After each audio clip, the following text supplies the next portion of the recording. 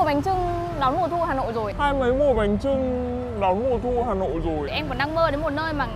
nghe đồn là còn đẹp hơn cả mùa thu Hà Nội cơ Là nơi nào vậy? Đà Lạt Giữa Hà Nội mà nhớ Đà Lạt thì nên đi đâu? Để cảm nhận sự bình yên, xanh mát của Đà Lạt trong gió thu Hà Nội hay nhâm nhi những thức uống đậm vị đặc trưng đầy tươi ngon của Đà Lạt, Mai nghĩ rằng là Đà Lạt có xứng đáng là một nơi để đặt chân đến hay không? Chắc chắn em sẽ tìm hiểu ngay về các tour du lịch Đà Lạt để có thể tới tận nơi Đà Lạt xịn để thưởng thức những cái món đồ uống rất là tuyệt vời này.